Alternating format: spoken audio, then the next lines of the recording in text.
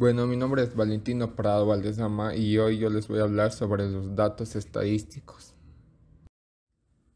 El tema en el que me he basado para sacar los datos estadísticos fue los autos más populares en América Latina.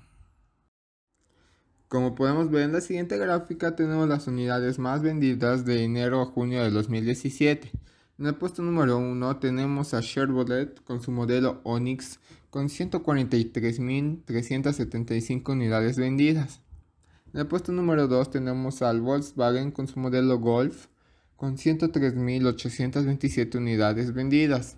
En el puesto número 3 tenemos al Renault Sandero con 96.218 unidades vendidas.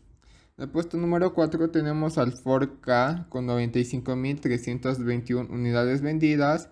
Y en el puesto número 5 tenemos al Toyota Hilux con 80.327 unidades vendidas. En el puesto número 6 encontramos al Nissan Versa con 79.168 unidades vendidas. En el puesto número 7 está Hyundai HB 20 con 71.150 unidades vendidas. En el puesto número 8 encontramos al Toyota Corolla con 68.994 unidades vendidas.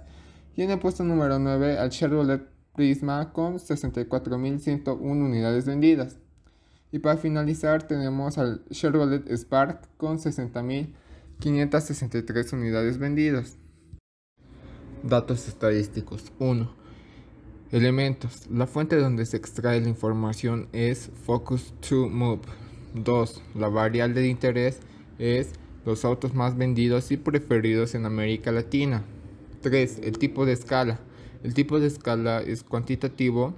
Y 4. Adentrándonos más en un subtítulo, podemos decir que es de razón ya que se mide las ventas de los autos y con eso medimos la producción de las mismas.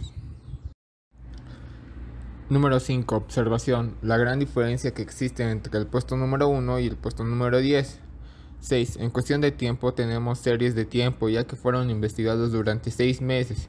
Y número 7. Para finalizar, fuentes de datos. Los fuentes de datos fueron existentes ya que para hacer la investigación se usaron registros internos de las diferentes empresas.